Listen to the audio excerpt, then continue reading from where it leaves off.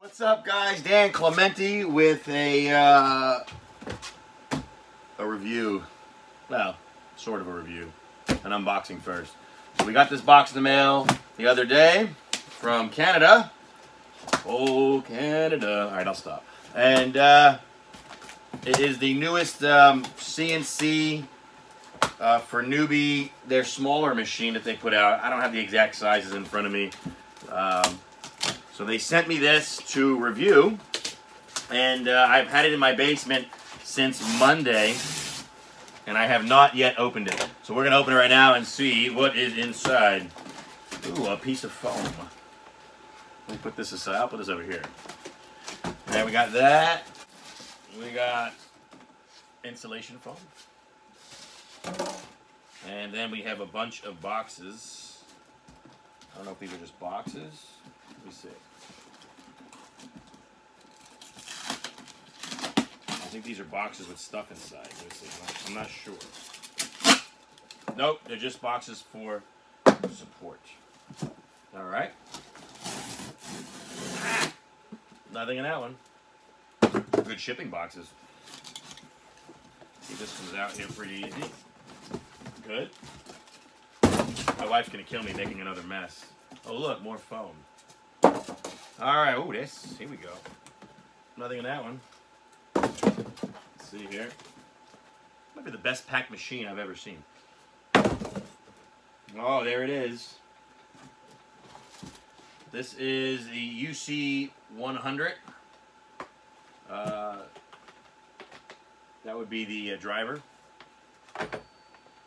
And let's see what else we got here. This is like a cute little size machine here. Let me see here if I can somehow get this out without breaking anything. I don't know if I'll be able to do this. Hold on a second. Spindle holder.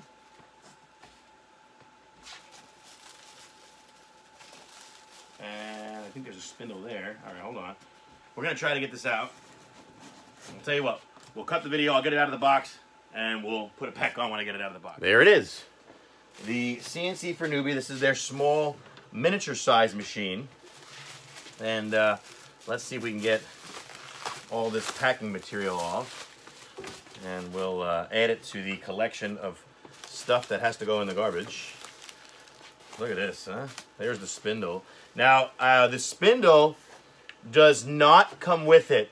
Uh, that was included for this review from them, but the, the spindle will be available separately. So this does not come with the spindle. So make sure we are on the same page there. So when you buy it, you don't get a spindle. Um, you can buy the spindle separate. So here's the front of the machine. It's like this cute little CNC. Um, it's all wired up. Everything's built inside. It's got an aluminum uh, T-track. Uh, again, I don't know the exact size. I will put it in the description. There's an emergency stop button. Uh, some kind of knob there. Some kind, I'm not sure what that's for. And then you also have the spindle here uh, already attached, ready to go. I just got to mount it. But that would be uh, a spindle. But I will put some information about this in the um, in the description of the video so you guys can see what it is. Uh, but again, just so we're on the same page, this does not come with it. Normally, it'll just come with the CNC machine uh, without the spindle and all the other stuff that's with it. Um, but that will not be included. So we'll put this all together and we'll fire it all up and uh, we will see how this thing runs because it's already pretty much put together for you.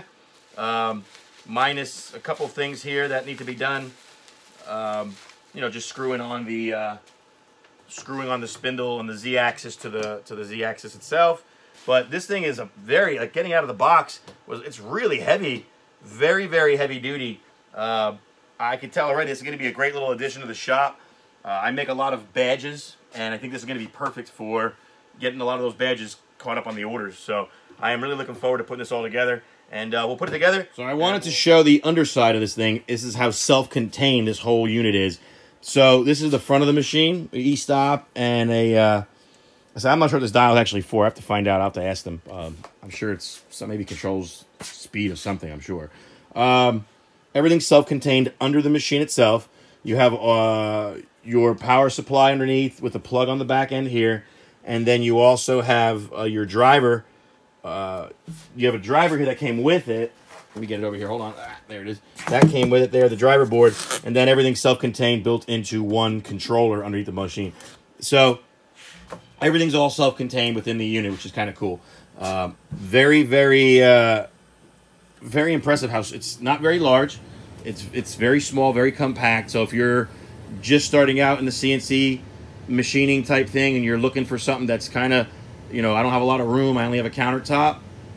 Uh, you know, this is this is perfect. So I mean, you look at it. I wish I could compare the two. I mean, this is the this is the full size. Uh, which one is this? This is like the thousand millimeter one that they make when they first started making them. And then you can see this. This is a whole takes up a whole workbench, and then this one is just basically on an old kitchen table. Uh, so you can see the difference. But we'll get back to it here. Going to put it all together and uh, keep going with the video. So stay tuned. Assembled the Z-axis onto the machine. Very very simple. Uh, literally four screws. So it comes with four screws. Uh, it'll come with two short ones and two long ones. The long ones go through the top part of the Z-axis, just like any other CNC for newbie machine. And then, let me go around here on the front. And then the two shorter ones will go in right over here in these two spots. So two short up here, and the back side will be the two longer ones. So that's what it looks like all set up. Again, it's like this cute little machine that I absolutely think it's adorable. Uh, but I bet you, with what I'm looking at, I bet you it's a very powerful machine. It's very, very heavy coming out of the box. Uh, I didn't get a weight on it, but I'm it's pretty heavy. The, um, the box shipping weight, um, I can look up here. I don't even know. It doesn't say it on the box, I don't think. No, I don't see it on the, on the box, but but there it is. It's all set up, and it's ready to go. I just got to uh, obviously plug everything in. Um, you have to attach these two wires here to uh, one of the limit switches down here. So that'll be a pretty easy thing to do. And it's and that's it. And then you got to go in and, and uh, I believe you got to activate the uh, controller or the uh, software. I don't even know anything about. I've, I've always used Gerbil, GRBL. Uh, this is something new to me, so I have to figure out how this whole thing works and operates. It'll be a little different of a, a learning curve, but I think we'll be okay. So there it is in all its glory. It's set up. Uh, just got to plug it all in, get it all wired up. It's like I said, it already comes wired for you right in the back, and then the bottom has everything else. It has this wonderful T-track, aluminum T-track on top. It has uh, stepper motors um, on the back side and on each axis. And again, it comes. He he gave me the spindle to try it, uh, but this does not come with it. You can uh, you can usually buy a DeWalt 611, I believe is the number, the yellow one. Uh, he gives he gave me the uh, he gave me the bracket for that right here, the the Z the uh, spindle mount. So if I want to switch it out, but for now I'll use this one uh, just to give it a shot. That's what was in the box, so I'll try it out. But there it is. Um, so stay tuned. Uh, the next video in the series of this video will be uh, probably in a couple days due to some work-related issues that I got to get done outside of the house. So we will we will continue this video here, but you will be seeing the video in one solid video versus uh, where I'm taking a little bit of a break. So we'll see you on the next part of the clip. So what we're trying to do right now is we're, trying to figure out the uh, spacing uh, with the machine. So we have everything all obviously laid out. The machine is put together. Uh, everything is everything functions. Everything works properly. But now we got to figure out. Well, we need to put some kind of uh, substrate on this this bed because you don't want the bit drilling into the bed. So what I did was I cut some different slats of different uh, different different uh, thicknesses. This one is a uh, this is an inch, one inch. I did some two inches. I did have some three inches, but I cut them because they were a little too thick. And the goal is to try to lay out um, in a pattern basically to give some spacing so you have enough room for a T-nut to slide in and be able to clamp down on material. Uh, the only issue I saw so far with this is that there's an even number of slots. There was eight. I think it would have been easier if there was uh, nine or seven where you could have had an even spacing. Because if you put the uh, a two-inch slat in between, you end up with uh, this weird off-centered one on the end here. And then it's, you know, if you're OCD like I am, it's, it's not lined up. But these are two inch apart, leaving room in between for each, for a T-nut to go in or a a T-bolt. And then also tomorrow, uh, I have coming from Amazon, uh, Series 40 T nuts and some M5 screws uh, to be able to drill a, a countersunk hole into each one of these pieces of MDF and then it will it will clamp these tight to the to the aluminum bed. So that's kind of where I'm at right now. Um, I get I cut some one inch pieces as well, and you know they they work well too, but then their spacing is a little bit further away. Um, you know, if you do it that way, your your spacing is a little further between each each slat. So the next option uh, could be to make two and a half inch wide because three inches was too big. Uh, one inch is a little too small. So maybe try a two and a half inch slot or slat and see if that uh, maybe helps in getting the spacing a little bit less.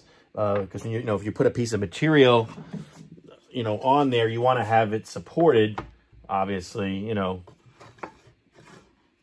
so it's so it's supported. Um, so that's kind of where I'm at right now in the build process of this. Um, just trying to get it done and uh, at least try to get a carve done on it.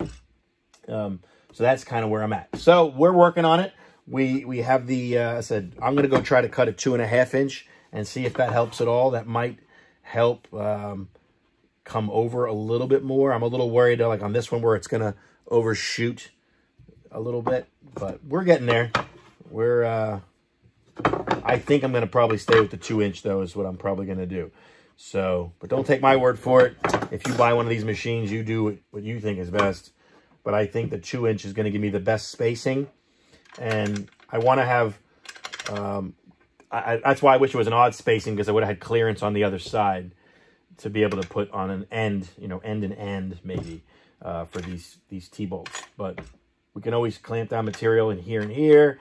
You just got to know that you're limited uh, on the size of the bed to what you can cut out. So as long as if you know that and you and you buy a machine that's uh, this size, you know that you have to be able to prepare yourself for much smaller cuts. Whereas uh, something you know uh, like this got a lot more room and a lot it's a lot easier to to mess with your sizes a little bit. So that's kind of where we're at. Uh, we'll get back to you here shortly once we have them all drilled into place and we'll go for our test carve. So we picked up um, these two things on Amazon yesterday, a box of M5 um, screws and these uh, 4040 style series T-nuts. These are uh, pretty hefty duty T-nuts uh, and they slide into uh, the track to give you some MDF. So this is what I picked up. Um, you'll need these for sure if you're gonna lay down MDF slats uh, on your bed.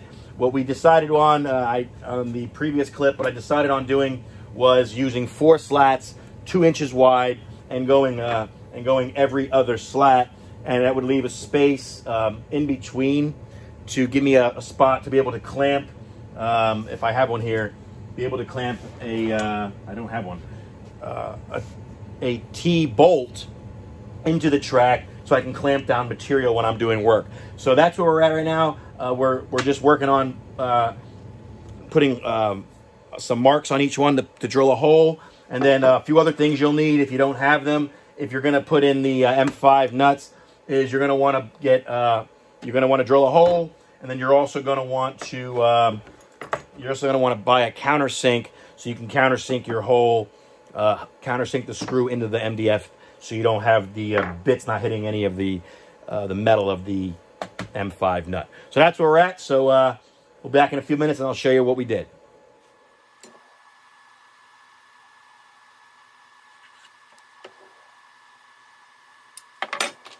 Okay, done. It took a little bit of work, but uh, you got to watch out for some of these little screws here. Uh, they're in the front, so make sure that I went on the first ones. You can see here, like I only went an inch in uh, make sure you go a little further back.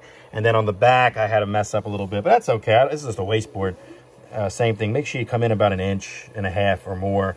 Um, and this one, I don't know what happened here. The the whole uh, the whole T-nut just got stuck.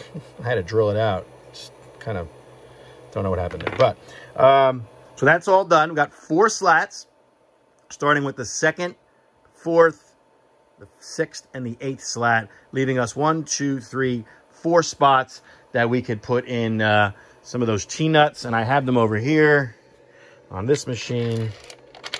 That one's stuck in there. Uh, right over here. My workbench is a mess, but I don't care. and those can go in there and then clamp down to the material. Um, I don't know which ones I'm going to use. I'm not even sure how I'm going to even use ones over here because there's not much room to clamp. So I, I have to figure that out still. But uh, this is a complete learning environment for me on this smaller size machine. Um, when I built this one, uh, I gave myself some room uh, to clamp like on the, one of these in one, two, three blocks or, uh, you know, a piece of wood. So when I'm clamping down, I can use that as my clamp. Um, but this one, I don't really know yet what I'm going to do, but I'll have to figure it out. So let's keep playing here and uh, we'll move forward and uh, try to see what we can get out of it. Um, I actually uh, switched the slats around. I, I, ended up going the far left side, starting there, and then going with this one empty. And the reason why is, is most stuff when you're using V-carve is uh, you could set your zero anywhere you want, but a lot of times you're going to zero from the far left corner. Uh, you could zero from the right corner. That's just not something I do. So I figured move it over to the left side and then gives me some room to clamp onto here with a smaller, not this one, this is one of my old clamps, but um, I need to make some shorter clamps or I need to get some longer T-bolts. Um, but yeah, so I can clamp on and have something that's solid to clamp onto instead of hitting the side here. Uh, but otherwise, yeah, it's ready to be carved.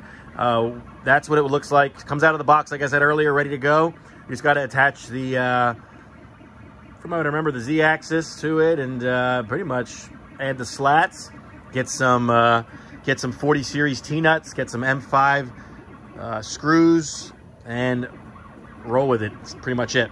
So that's where we're at, and uh, we'll start here at a carve, and we'll see you in a few minutes. All right, so we're back. Uh, what we're going to do is uh, we are going to just do a small little test carve, and all I did was just set up just something. I don't like to use a, a big, a good piece of wood. I'm going to use something, just a small piece of pine, just to test some words, see how it works.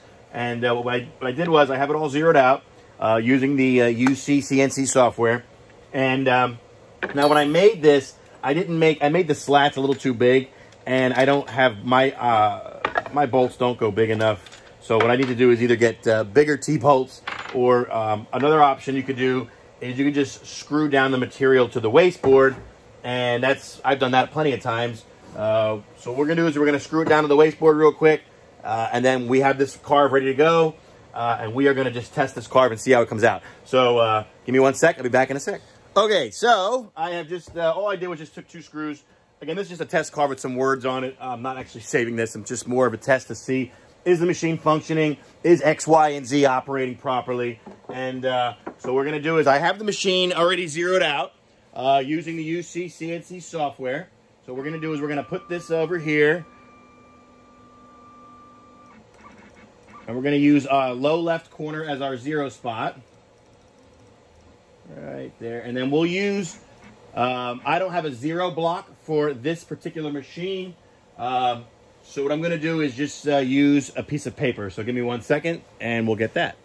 All right, so what we're to do is we're to zero um, the bit onto the wood. Um, if you have a zero block, which I do not have for this particular machine, you would use a zero block, which I use for my larger um, CNC for newbie machine. But I'm going to use just a piece of paper, and all you're doing is putting the paper down, and I'm going to uh, just have the bit touch the wood, uh, or touch the paper. Let's get that... Uh, don't want to go too deep. Make it uh, very minor movements. That's perfect. And we're going to zero that right there. And we're going to keep that as our zero for Z. Okay.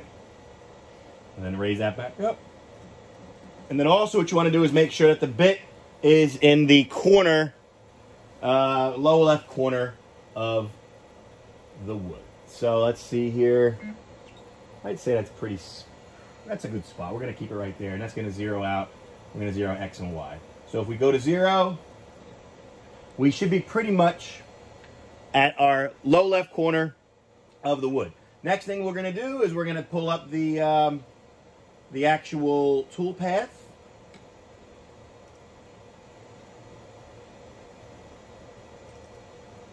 I'm going to bring this over here real quick. Don't mind my messy workbench. I do a lot of work. And there is our what our carve's going to look like. There's our zero location in the yellow right here. And then there's our carve. All right, so let's take a look here and see. Put this back onto the machine. Move this back a little bit. We are a low budget film, folks. Low budget. All right, here we go. Let's see how this works.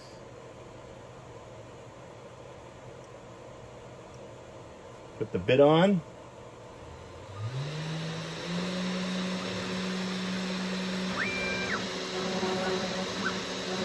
We are carving.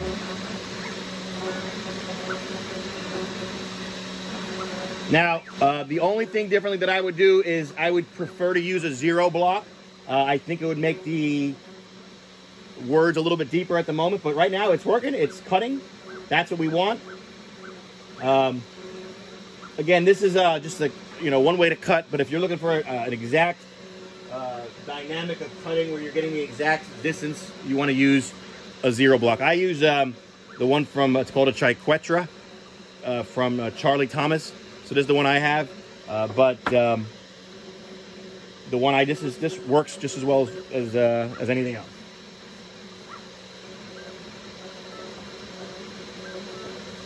But it is cutting away.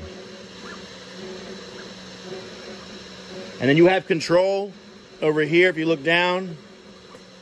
See if I can pull this down a little bit without uh, making my phone fall off there. You have control of your, of your, uh, your bit speed by this.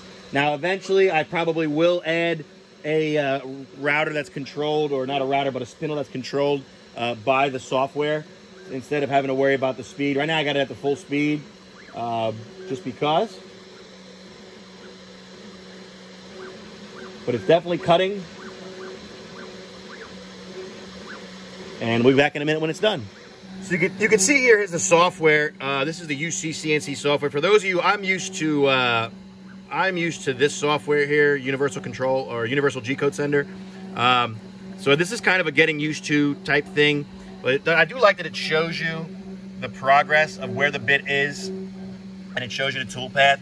Otherwise, the software is almost the same. Um, a couple new things you got to get used to learning about zeroing and, and whatnot. But otherwise, it's, it seems pretty easy. Like if you stop a carve, which I actually ended up doing with this one, I just stopped it for a second, and you want to start over again because I want to go a little deeper. Um, you got to rewind the file versus just hit stopping. It'll just stop the bit like a pause, basically. Um, but otherwise, it's still running really well. Um, all I did was I just wrote a their name, a test carve using the CNC. You just got to drag the bit a little bit here accidentally. That was just me getting used to the software, but it's working. Um, always recommend using a, a, you know a test carve. Don't be using any uh, really expensive material.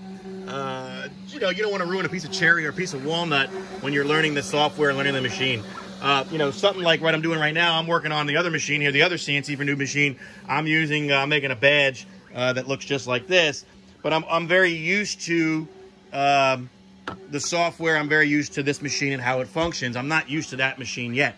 Uh, you know, I'm making thick things like this on the bigger machine, whereas this smaller machine is not going to give that capability, unfortunately.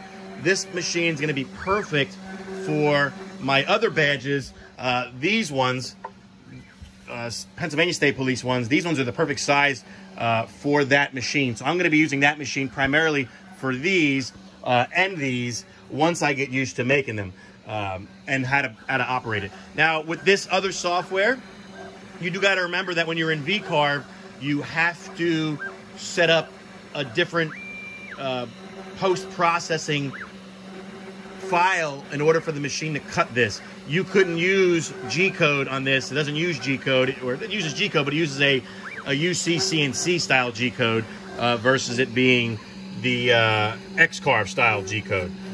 You know, so like when I go to here and I go to post and I go to file and I save the badges, uh, I have you know in this one I only have in this computer I only have my JTech, my X-Carve, and uh, millimeter. But if I go upstairs to my other, my main computer, I have it set up for uh, this machine to be able to cut the files for here. So what I will do is in the video, uh, I'm describing it, I'll put it in the uh, details part of the section of the video. I'll put a link to that file so you guys know exactly uh, where to find it. So this is done. Uh, so the only thing with this, again, since it's not automatically, I had to turn off the, turn the bit off so it doesn't spin no more.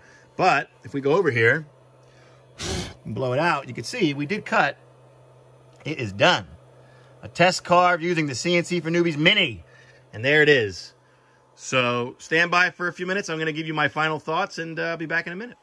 All right, so my thoughts. So here's the carve that we just did, little test carve. Uh, I'm not sure if it's going to come back backwards or not. It might, but it just says a, a test carve using the CNC for Newbie Mini. Uh, as I said earlier, I recommend always using a test piece of wood before you go into cutting a piece of cherry or walnut.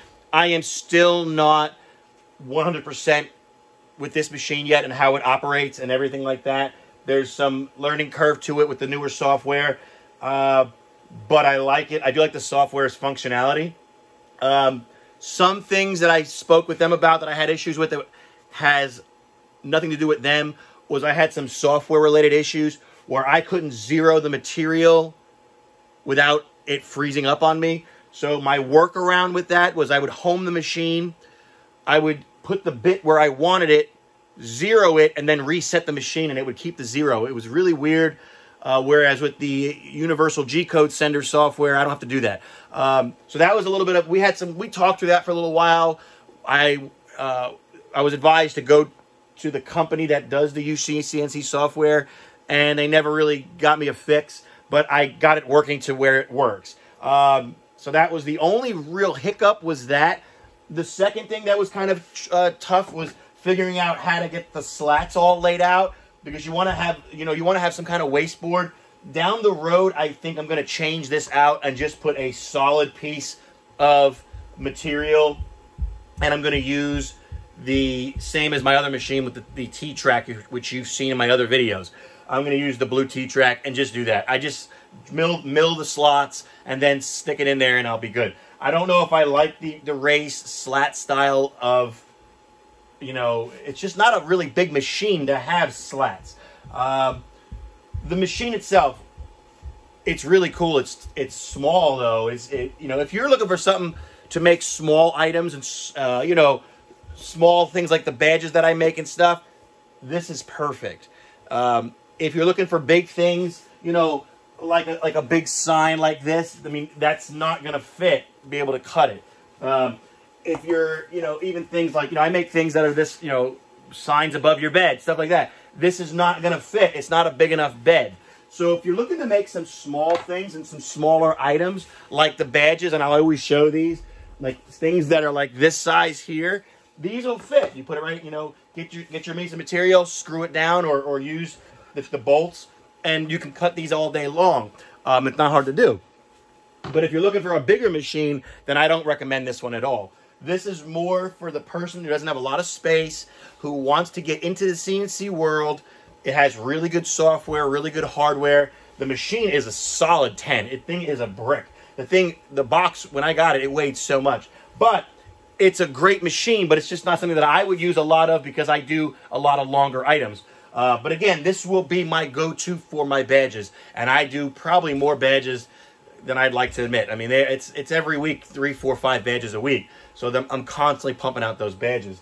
Um, so do I like the machine? Yes, 100%. Would I keep this router? No. This, remember, was in the very beginning of the video, was given to me as part of the review. Uh, he did provide me with, uh, I didn't open this up, but another another mount. I'll open it up real quick for, ah, if I can get it out here. There it is, got it. A bigger mount, he gave me that uh, for a bigger router uh, or a bigger spindle. So I am going to eventually upgrade the spindle and put this on. Um, this is going to get swapped out and get a bigger spindle from uh, Amazon. Um, it does come with the UC CNC software, from what I understand.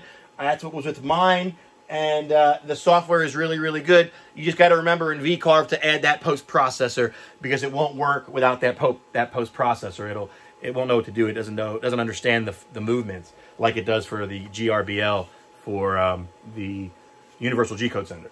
Um, so all in all, I give the machine, as for the rigidness of it, a 10 out of 10, 100%. The thing is is very heavy, very rigid. I mean, it, it weighs a ton. It's very well built. Uh, it's as well built as my bigger machine. 100%. It's on the same quality level. Uh, after coming from the X Carve two, three years ago to what I've come to now, I've had the X Carve, I've had the lead from Open Builds, I've had the CNC for Noob machine here, which you've seen in my other video, and I've had this machine. This is my fourth CNC machine. The CNC for newbie machines are the ones that are still in my basement. They don't, they haven't left. So that just shows you I got rid of the lead and I got in the X carve I re, remanufactured that into the new machine, into the new carve.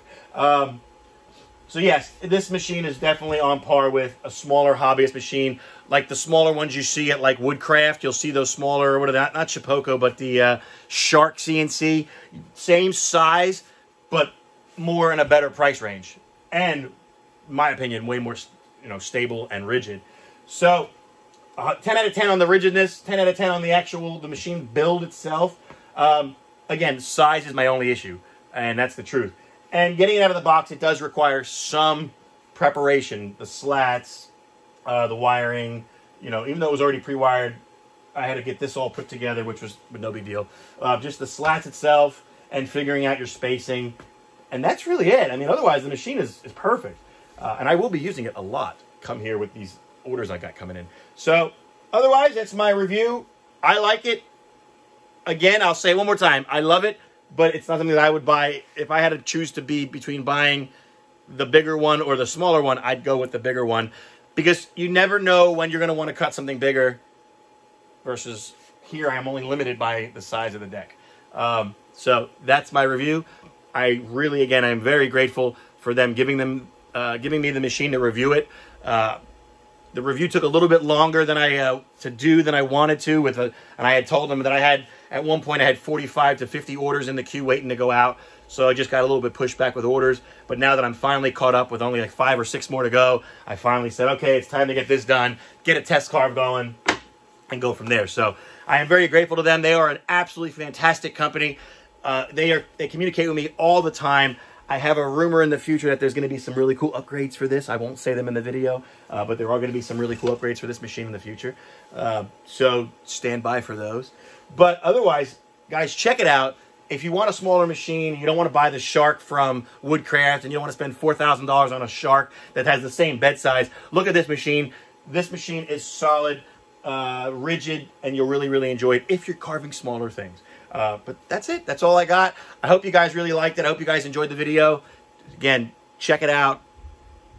Check out their website. I'll put a, a link to the on the bottom, the uh, website in the bottom. I'm not one of these YouTubers that really gets the whole like check out, follow, and below. I'm not really into that. Just like the video. If you like it, subscribe, check it out. They'll, I'm sure if this video gets as many reviews as the last video, they'll give me more stuff to review. So just check it out, enjoy it, and uh, I hope you guys keep on seeing, seeing, and we'll see you in the future. Later, guys. See ya.